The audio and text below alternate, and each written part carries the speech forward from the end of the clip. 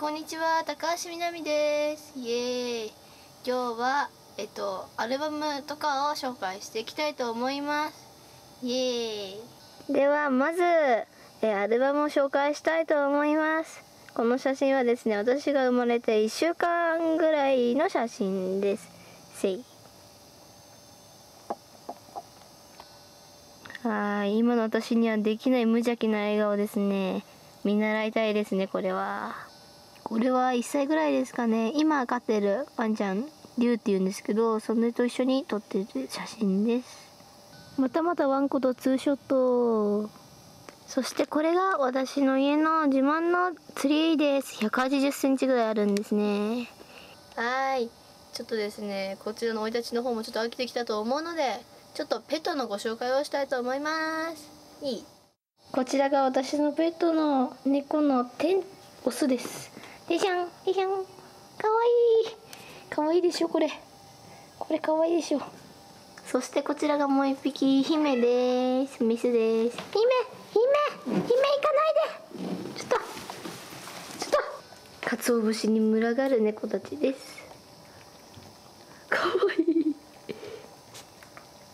はいそしてこちらが私の机の上です。はい物がいっぱい置いてありますね7とか香水とかいろんなものが置いてあります。こちらはですねりなちゃんに誕生日プレゼントでもらったんですよ。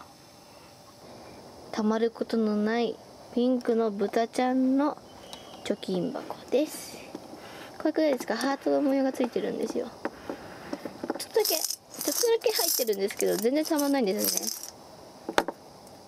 うひはい。そしてこれが私のお気に入りのハートの鏡です。ちっちゃい時のビデオを見せたいと思います。3歳の時ですかね。お名前は何ですか？高橋みなみです。はい。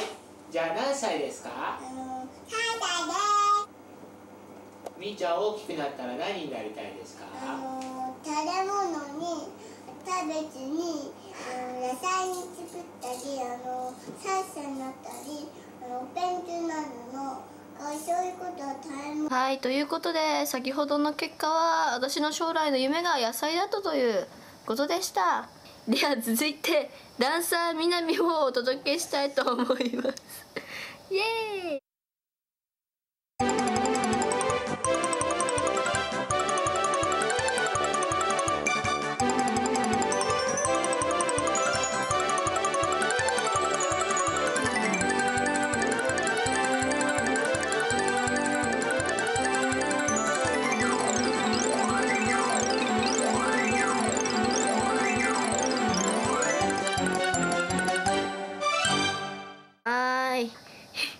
才的ダンスでしたね。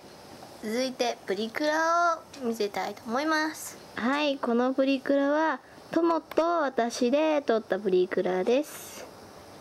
いいえっとこれはですねどこでしたっけ？ななんかの帰りの多分あれですねグランドオープンする前ですねこれは。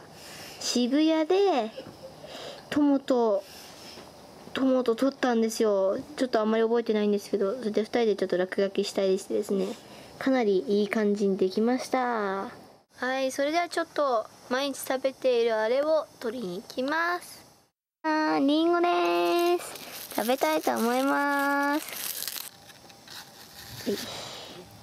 これは健康のために毎日食べています。それではいただきます。うん